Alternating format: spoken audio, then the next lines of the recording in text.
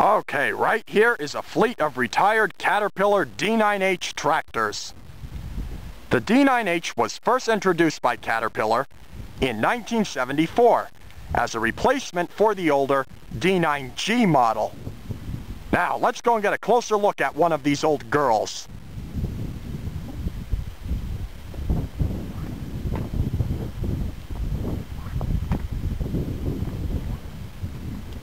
Four different blades were offered for the D9H, depending on what the customer preferred. All three of the D9s that you are looking at right here are equipped with model 9U blades, which measure 15 feet 9 inches across and rated at 17 and a half cubic yards.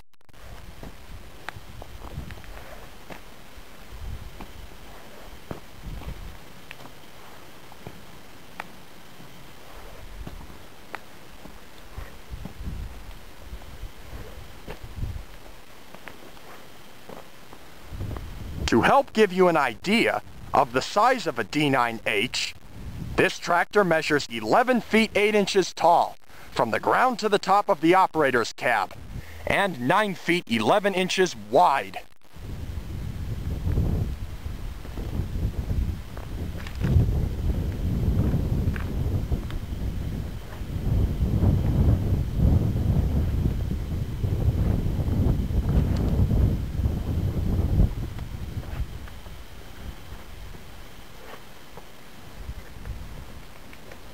The D9H is equipped with Caterpillar's conventional low sprocket and final drive design. A sealed and lubricated track surrounds the track pin with lubrication to reduce internal bushing wear.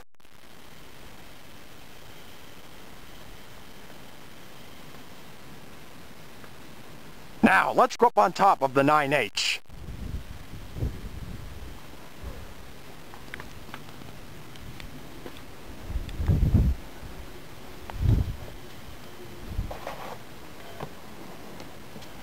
Just like the older D9G, the new D9H was powered by a Caterpillar D353, turbocharged and after-cooled inline six-cylinder diesel engine. And this engine produces 410 horsepower for this tractor. And if you look, you can see the single air cleaner.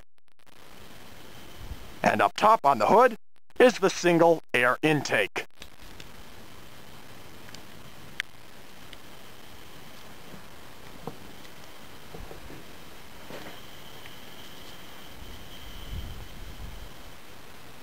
As you can see, this particular D9H is equipped with a modular enclosed operator's cab, which was an optional feature for this tractor and was first introduced in 1975.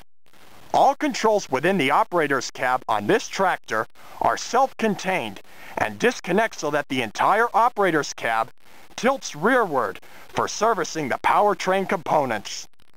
Let's go inside and check it out.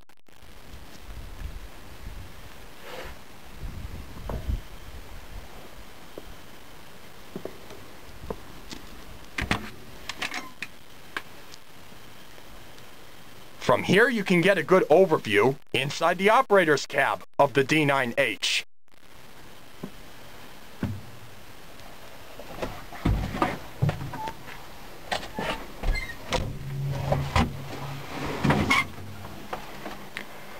Okay, out in front here you can see all the gauges to monitor this entire tractor when it's in operation.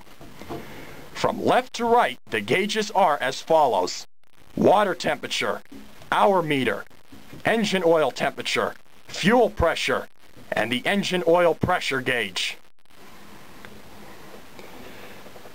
Out in front on the control panel, you can see other switches to work other various functions on this tractor, such as a switch for the wipers, the headlights, and down below here, you can see the ignition switch to start the tractor.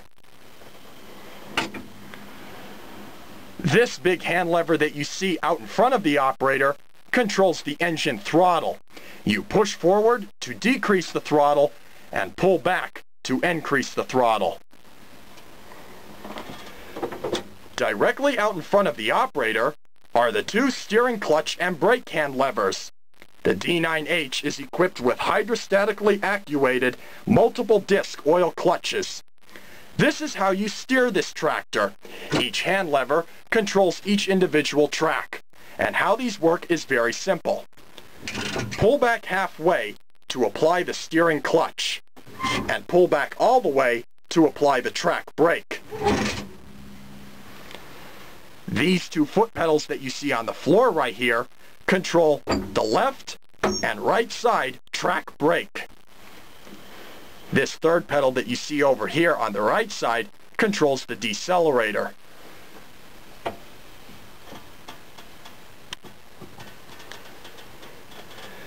The D9H is equipped with a Caterpillar planetary type full power shift transmission. And this hand lever that you see over here on the left side is the gear shift for the transmission. This is in the neutral position right here. There are three forward speeds and three reverse speeds on the D9H.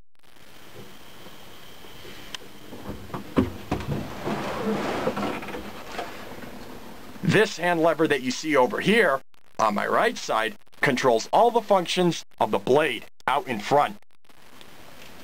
And the hand lever that you see directly behind the blade control hand lever controls all the functions of the shank ripper, which is located on the back of the tractor, which you can get a good view of by looking out the rear window.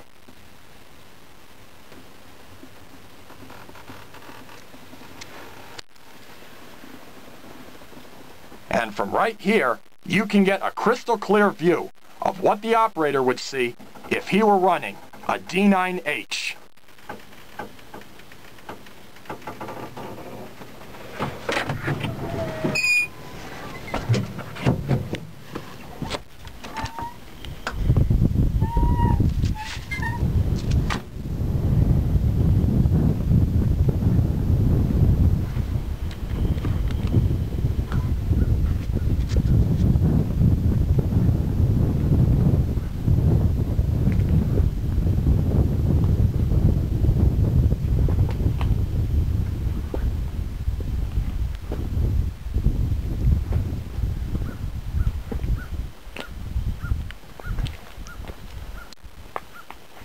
Mounted on the back of this tractor, directly behind the operator's cab, is a 230-gallon diesel fuel tank, which you can see right there.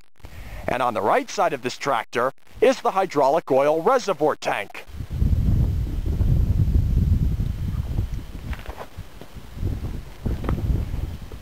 As you can see, this particular D9H is equipped with a single shank ripper. However, Caterpillar also offered a multi-shank ripper for the D9H, depending on what the customer preferred.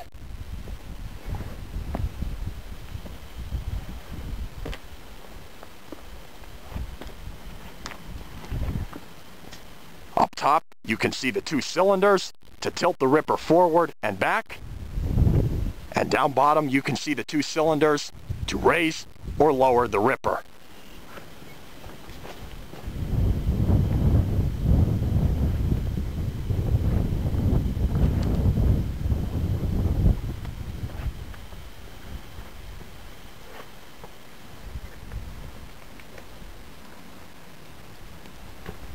And the overall operating weight of the D9H when equipped with the 9U blade and the single shank ripper, as you see right here, is 52.4 tons.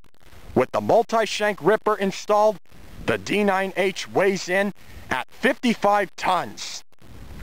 As a response to the growing industry demand for a larger and more powerful mining class tractor, Caterpillar offered two twin tractor configurations of the D9H, which were known as the DD9H and the S by S D9H.